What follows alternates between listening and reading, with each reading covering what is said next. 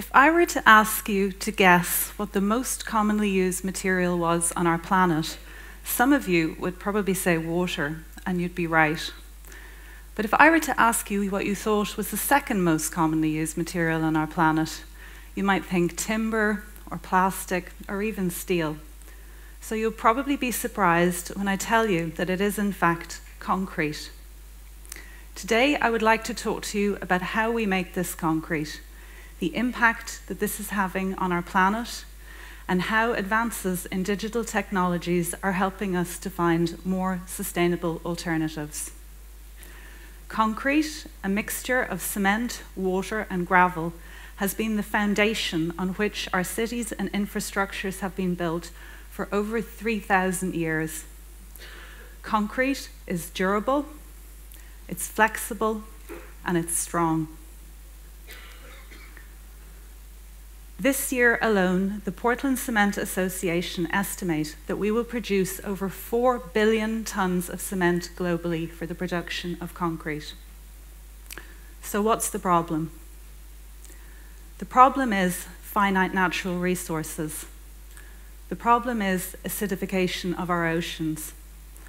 The problem is climate change. For every ton of cement that we produce through the crushing, heating, and grinding of limestone, over three quarters of a ton of carbon dioxide is released into our planet's atmosphere. This will equal over 3.2 billion tons of carbon dioxide this year alone. The equivalent to the emissions of 581 million cars. That's all of the cars in the whole of Europe and America and China. In order for our planet to process this volume of carbon dioxide, we would need to plant a forest one and a half times the size of Ireland. So, what else could we do?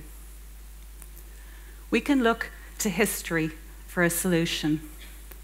For over 3,000 years, iron was produced through a similar process of crushing and heating of ore. Then, with the technological advances of the Industrial Revolution, particularly in the areas of chemistry and physics, a new process evolved which allowed for the mass production of the high performance material steel. Steel revolutionized the machines that we made and the cities we built.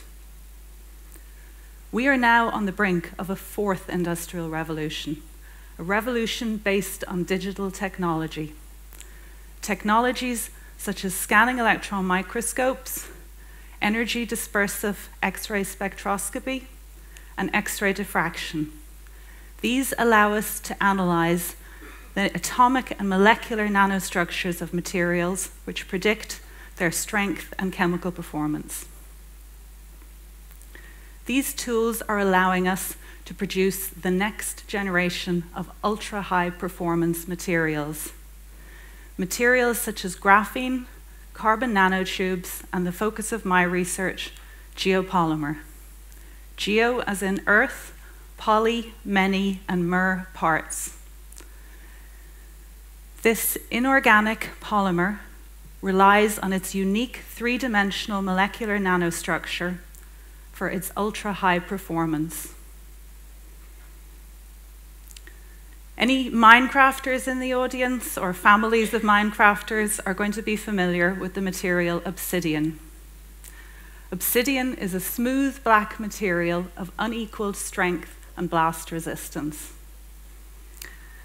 This is an obsidian fortress which my son Owen has uh, constructed to protect his Minecraft avatar from the hostile mobs of creepers and husks and endermen. The geopolymer obsidian is the number one choice of this generation of Minecraft engineers and architects when it comes to, constructing high performance structures.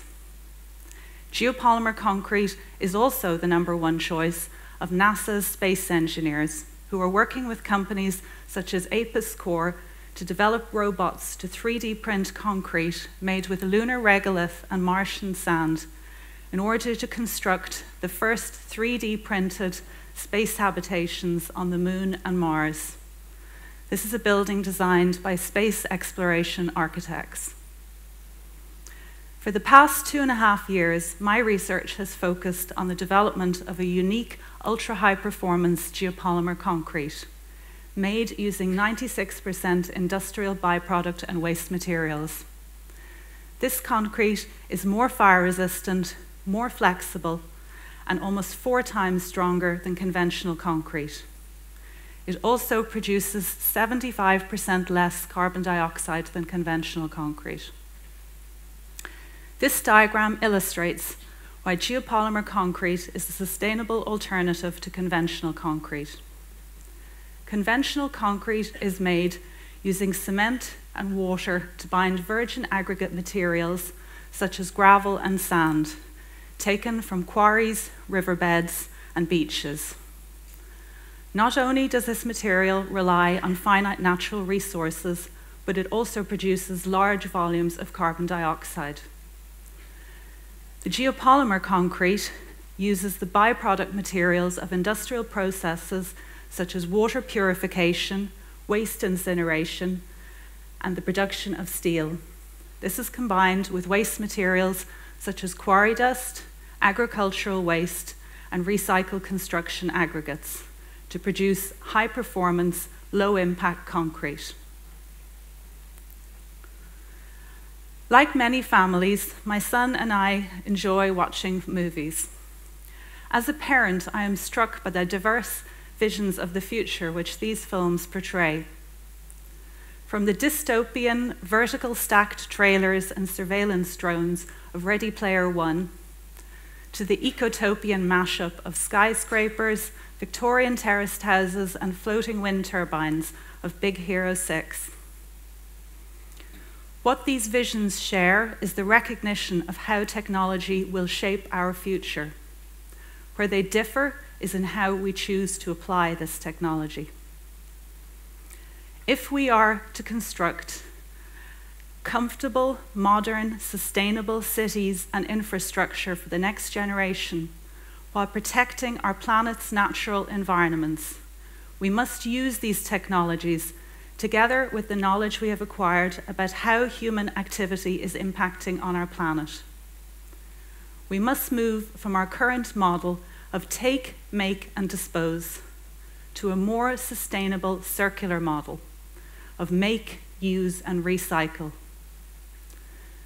The high performance, low impact geopolymer concrete is one of the ways in which we can do this. Thank you.